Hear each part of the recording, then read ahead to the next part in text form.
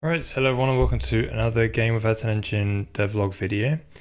So this is actually the first proper devlog video. The first one was just telling you guys about the project, but we've made some progress.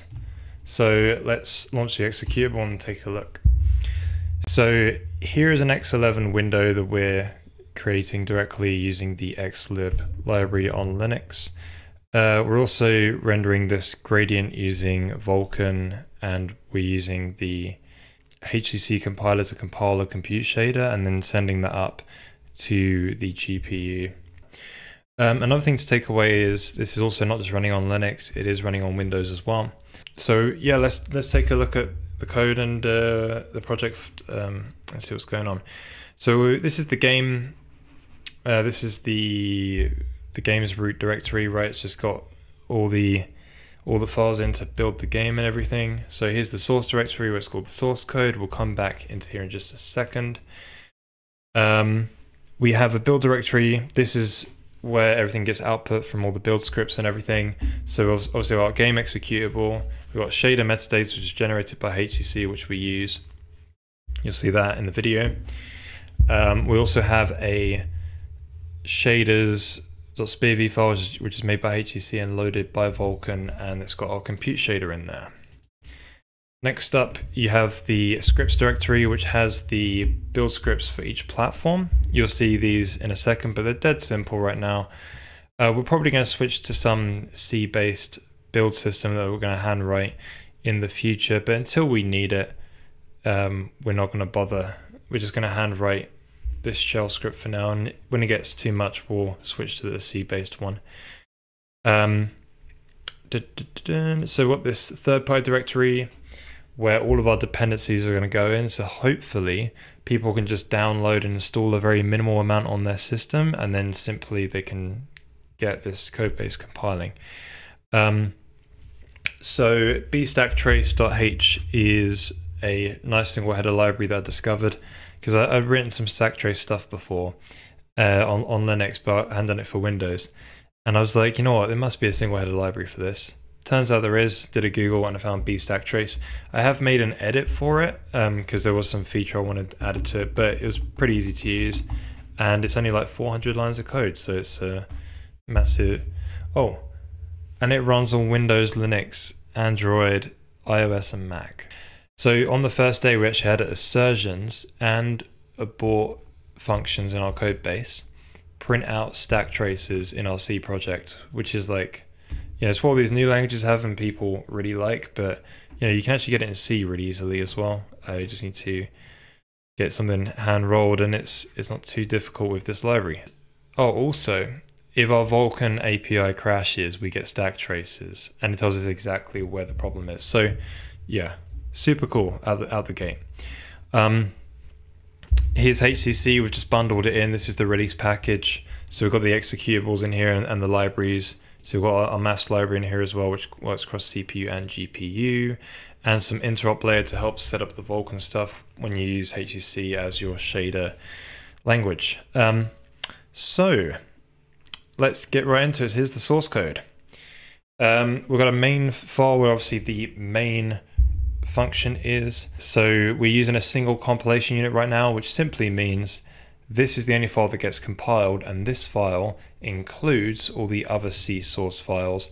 And it's the simplest thing we can do right now, gets us up and going.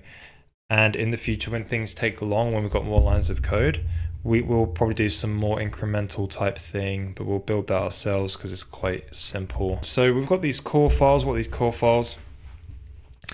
Uh, this has essentially got all of our main memory utilities, type defs, and structures for, for collections like dynamic arrays, hash tables, pools, things you want to use when you program other systems. But this hasn't really got any of that in right now. Very, very small. And we'll probably skip over that file today.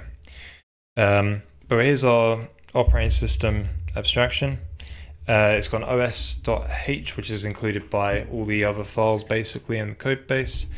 And whenever we want to do anything that's can be there's different on each operating system, it goes in here. And each operating system gets its own C file that's only implemented for that OS. So there's no if defs throughout the, these this code really. There might be one or two to be fair, but there's pretty much no if-defs in these files. There's one for Windows, one for Linux, and jobs are good. Um, GPU, what is this one? So this is essentially like our own OpenGL that we make, but obviously with a much better API. Um, so we have obviously this header that you include and you can use it throughout the rest of the project. Um, whereas the rest of the stuff is more internal. It's got a Vulkan backend and we can do another one for maybe DirectX in the future if we wanted to, or Metal, or whatever graphics or GPU API nowadays really um, we want to do.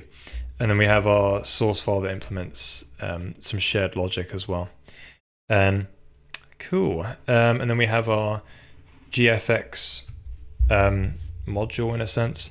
And this one sits on top of the GPU one and does the game specific graphics code. So that GPU one is only doing there to like launch shaders and like make a texture, like doing the actual stuff to make the texture. Um, this actually uses that to make textures and get all the compute shaders together and launch them in certain orders and all this stuff, right? So we'll see into the API in a second for these guys. Um, so let's dig into the source code. So here's the build script. Again, very simple. We're doing a single compilation unit. Our flags are gathered from a file on disk because we use a I use the Clang language server protocol thing to get some um, IntelliSense in my Vim editor. So I just share that between the build script and my LSP by doing the cat thing there. We also make the build directory here if it's not made already. Then we run the HCC compiler to compile our shaders. We compile source gfx, gfx gfxshaders.c, which you'll see later. We compile that to a shader SPIVY file, and then we make some metadata as well, which we use. And we also enable some swizzling extension, um, so we get swizzling while we write our shaders, which is nice. All in C, but it's with this extension as well. Um, and then if this is successful and doesn't print out any errors and is all good and makes these files, we want to then compile our um, actual game using Clang. Remember, single compilation unit, so we just compile the main file and that includes everything else and we compile out the main executable. Nice one. So here's our main C file, super minimal. At the top, what you'll see is here's all the C files that get included. Then we've got this thing called game main. Game main is our own main function, and the main functions actually differ across Linux and Windows. So on Linux, it's just main, and then on Windows, they do have a main, but that's a console application, but for a graphical application, it's WinMain. So we actually go into WinMain on Windows, then call into this guy. Um, yep, but that's just some OS details. Um, and then after we get into the main function, finally, we can initialize the operating system. We open up a window, 800 by 600, you know, good size. Um, and then we initialize the GPU like our own OpenGL context in a sense, right? But it's, it's our own GPU thing that sits on top of Vulkan. Um, and then we uh, initialize our graphics for our game, and then we just run the game. So we've got a while loop here, so it runs every frame is a single loop. We iterate over all the, the events we get from the operating system. And we've got stuff like key press and key release, but these are very simple right now. They simply return a ASCII key code character and a proper scan code key code system will be done in the future. But for now, we just got those in because it's dead basic uh, to do. And then we have a window resize event and a window close event. And then we just have our graphics render frame, which is essentially like graphic or renderer update or graphics update. But we let the name render frame because it's more more descriptive of what it's actually going to be doing. Um, so here's the OS header. Ta-da! It's got a enum with the event stuff you just saw. It's got a window ID. So we plan on using IDs everywhere. Effectively, let's go to the definition here. It's simply like a structure that just wraps a 32-bit integer, which can be used for like whatever we want. It's basically going to have like an index and like a, a counter in there. And if you guys are familiar with like a slot map or a object pool or stuff like this, effectively it's one of those so we can track use after free sorry we can detect use after frees or if you're trying to if you free it more than once and also it has a benefit over pointers if you want to serialize this stuff out uh, to disk and load it back in so you, you can use a an id instead of a pointer and you will use the id to get a pointer from the pool and then you can use it uh, use the pointer until you don't need to use it anymore and just refer to it by the ID. Um, and also it's smaller than a pointer as well. It's only 32 bits rather than 64 bits, which is kind of nice. We have the OS event here, which just has the OS type and has the window and it has the relevant data for each type of event in here. Um, we have this OS backend structure, which just gives us the, the essential backend window handle. So it gives us the raw X11 window um, window handle thing and the raw Win32 window handle and the sort of like display connection or instance um, to interact with the the sort of like X11 or Win32 system because these are needed for Vulkan to actually create a Vulkan surface and this Vulkan surface is uh, essentially a connection to the window that has been displayed on the screen. So then obviously we have our functions here, right? It's just like initialize, open window, get the window backend, window resize, iterate through the events, and read in a whole file because we need to read in our shader file. Um, right, so here's the GPU header. Um, essentially, we have a way to get the surface that we're rendering to, so like the window, to render to directly to the window as a resource ID. So resource IDs can either be a buffer or a texture. Um, we have a frame start and a frame submit. Very simple right now because it's all we really, really need. We don't need multiple command buffers or anything yet. So we're just doing what we need right now. Um, and then we also have a way to record a command into the command buffer. And this has to go in between the start and submit. And you can do as many we can't do as many as you want right now because there's some sync code problems which we've got in the to-dos up here. But in theory you can. Um, but yeah the first argument is the HCC shader which is an enumeration from the shader metadata. So this is obviously compiled before the main game is compiled and you get this thing and then this file is compiled into the main executable so we've got our GFX CS for compute shader clear. Um, I've got some other bits in there as well, but that's not really worth looking at. So, oh, I accidentally closed it. It was going so smooth until there, eh? So, here we are. We've got the number of groups that we're going to launch as well, standard compute shader stuff. And we also take in some uh, a pointer to the constants that you're uploading to the shader. So these are push constants in Vulkan or root constants in DirectX 12 if, you, if you're familiar with those. Um, here's our graphics abstraction. This is, remember, like a high level thing for the game to use. So the game will be like, hey, I've got these objects in the scene that I want to render.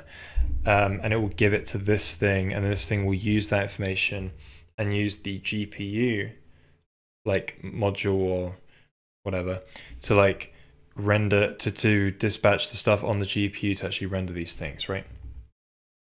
Um, so here is the GFXC file at the top. We've got this render frame function, right? We just use that frame start as you saw earlier and frame submit. Then in between here, we launch a compute shader. We launch the clear compute shader, which we've got down below, which you'll see in just a second. We get the surface resource ID as the output texture. Um, and then we set the output dimensions to 800 by 600. This is a custom uh, constant structure which is shared between the CPU and GPU, which you can just put whatever data you want in there, but it's got to be within a certain bounds because push constants and that can only be so big. So we've set for, set um, for 64 bytes of data um, at, at most, but obviously it's less here. Um, so here it's only 12 bytes of data. Um, so then obviously we put our shader in there, our shader enumeration in there. We give it enough um, groups to execute to clear a uh, the whole texture, which is 800 by 600 for now, and then we upload the constants as part of the dispatch, and then we submit the, the frames to GPU. So down here at the bottom, there's a GFX shaders.c. So this thing is given to HCC, but also it's included into the gfx.c up the top here.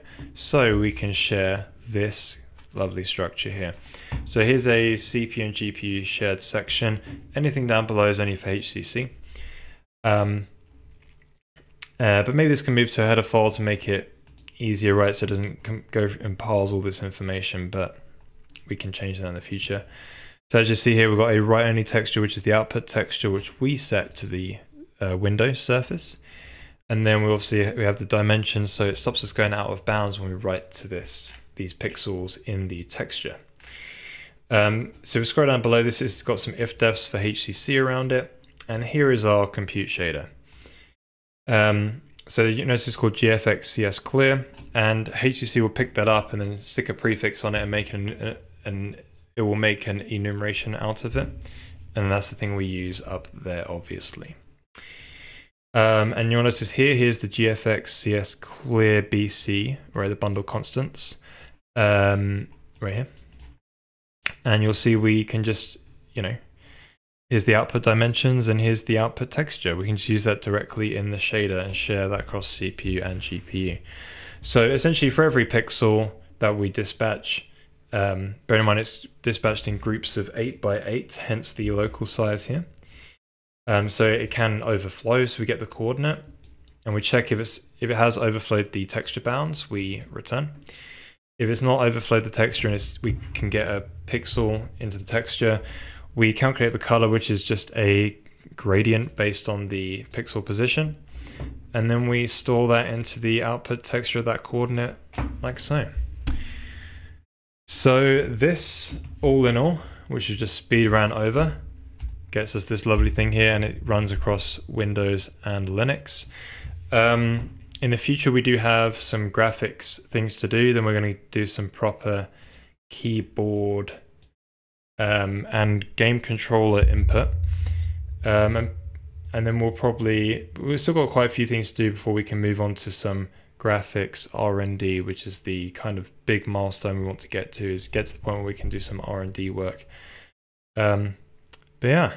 Right, thanks for coming everyone. I want to just quickly show you that we do stream on Twitch. Here's the dates. And I'll, I'll leave links down in the description to, to tons of little things that you can follow me on or um, or how, or how you can get access to the code as well. There'll be links in the description. Um, yeah, so there's the times. And yeah, uh, we stream Tuesday, Thursday, and Sunday at those times.